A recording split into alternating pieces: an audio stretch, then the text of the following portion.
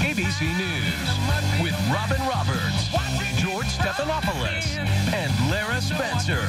Live in Times Square. This is Good Morning America.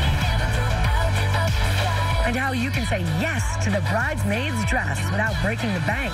The hot new service helping you save big time right now. Next up on the Heat Index, you have heard the expression, always a bridesmaid, never a bride. Well, now a hot new website may take the sting out of that a bit, saving you some big bucks on those dresses, at least.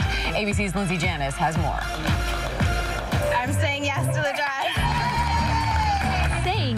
to the wedding dress, a magical moment. But saying yes to the bridesmaid dresses, not so much. Really don't want to go over that budget. Like, I can't. These days, being a bridesmaid means you need to be made of money. From the wedding gift to the bachelorette party, the average spend is about $1,700.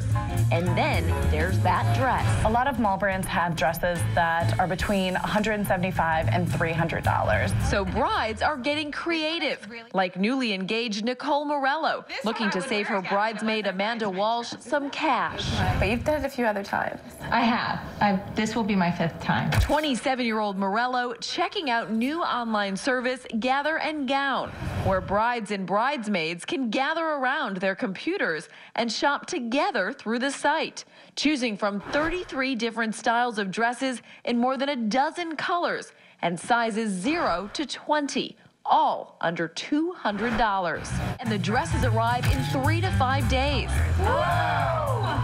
Oh, I love that color. it's pretty. on you. I like the neckline. Always a good thing. And Lindsey, you're wearing a beautiful bridesmaid's dress here. Who are you wearing? This is from Gather and Gown. Again, all three of these dresses for under $200. This is the shift dress. It's called the Sullivan. It's $175. It's, it's Navy great. also happens to be the color that my bridesmaids are wearing. Ah. This is uh, the Madison dress in sage, $99.